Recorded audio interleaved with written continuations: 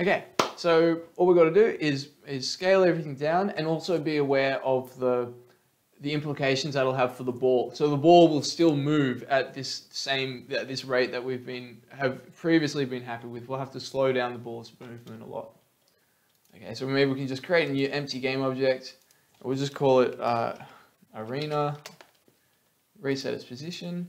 Oh, actually, not, not arena. Let's call it, let's just call it scale object. Give it a functional name. Okay, put all of our, all of our, all of our game objects in there. The ones that are, that have, you know, a, a, a body attached to them, the ones that have a mesh. In scale object. So at the moment it's 10 meters by 10 meters. If we go by point 0.1, it'll be one meter by one meter, which is still pretty big. So really we want it to be maybe half a meter by half a meter. So that could be like uh, 0.05 by 0.05. Okay, zero, okay, that's a bit squishy. 0.05 on all the axes. Okay, now it's tiny. So if we zoom in here, oh, maybe we can bring the bring the bring the device with us. So bring the device uh, way across, way down. There we go. Okay. Yeah, and this is where it gets a bit funny because actually working in Unity, working with objects of this size is a little bit fiddly.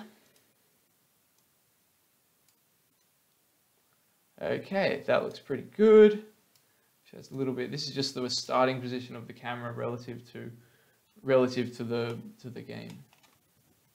Okay, and okay, yeah. Now now we'll notice if we hit play play just to test it, the ball might move like much faster you know, crazy. And we, you know, at a different scale, it was very slow. So all we got to do is go ball and change that to, yeah, maybe 0.01. See how that looks? Beautiful. All right. That AI controller is looking a little bit, is looking a little bit too good, the computer paddle. So I'm just going to change his skill level down a little bit, maybe to 0.0, 0.05, 0.06. See how that looks. See how that goes. Um, yeah, okay, and just test that one out and then we can build it. Yeah, that's that's yeah, that's pretty good. That's pretty good. He almost, yeah, he's almost missing. Cool.